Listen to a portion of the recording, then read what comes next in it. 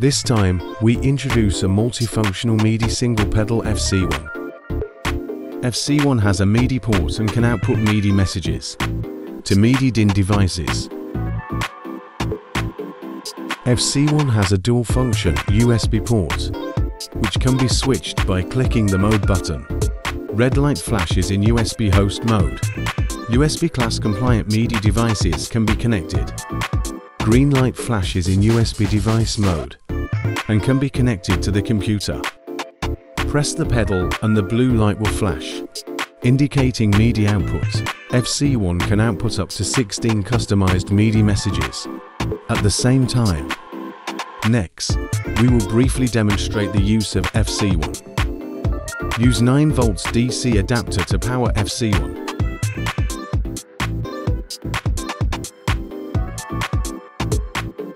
Connect to computer using USB cable. Click the mode button to switch to green light, USB device mode.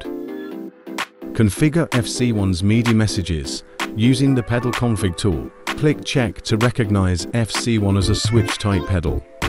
Configure the pedal as CC64, sustain pedal function.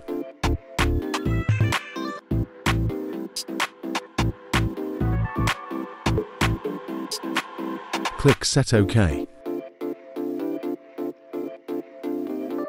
Connect to MIDI editing software. Make sure FC-ONE has been recognized by the computer. Demonstrate the sustain effect using GarageBand. Record MIDI. Play some notes. Play the sustain effect.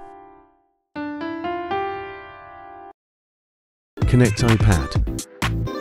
Connect to iPad using USB A to USB-C adapter, which included in package. Demonstrate the sustain effect using GarageBand.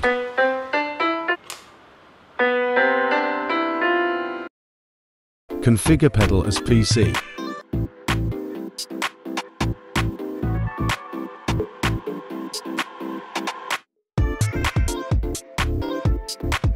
Control Effect software. Click to switch back.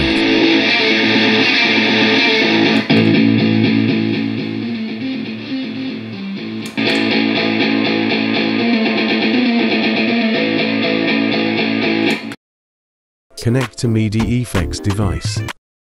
Output MIDI to effects devices.